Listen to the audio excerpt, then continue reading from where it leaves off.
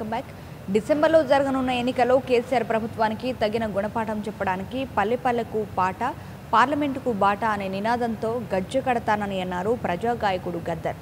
మహాకూటమి నిర్ణయం ప్రకారం ఎన్నికల్లో పోటీ చేసే విషయాన్ని ఆలోచిస్తారని ప్రకటించారు.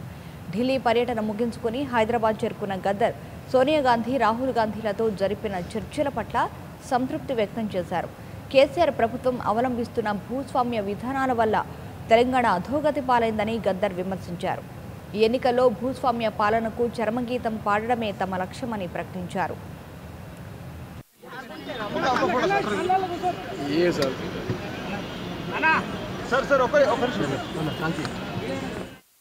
మాకు తాత్విక పునాది మీదనే చర్చ జరిగింది.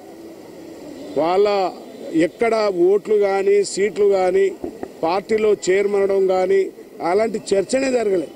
భారతదేశంలో రేపు పార్లమెంట్లో ఒక సెక్యులర్ పొలిటికల్ ఒక డెమోక్రటిక్ పార్టీ ఎట్లా తీసుకురాగలం? దేశం మొత్తం మీద ఆ శక్తులను ఏ విధంగా తీసుకురాగలం? ఇలాంటి ఫ్యూడల్ ఇలాంటి మొత్తం ఒక వైపు తీసుకుపోతున్న దాన్ని ఎట్లా ఎదుర్కో? ఈ విషయమే చర్చ జరిగింది. వాళ్ళిద్దరి దగ్గర కూడా పార్టీలో చైర్మన్ కానీ మా పార్టీకి ప్రచారం చేయమని కానీ అలాంటిది ఏం చర్చ జరగలేదు.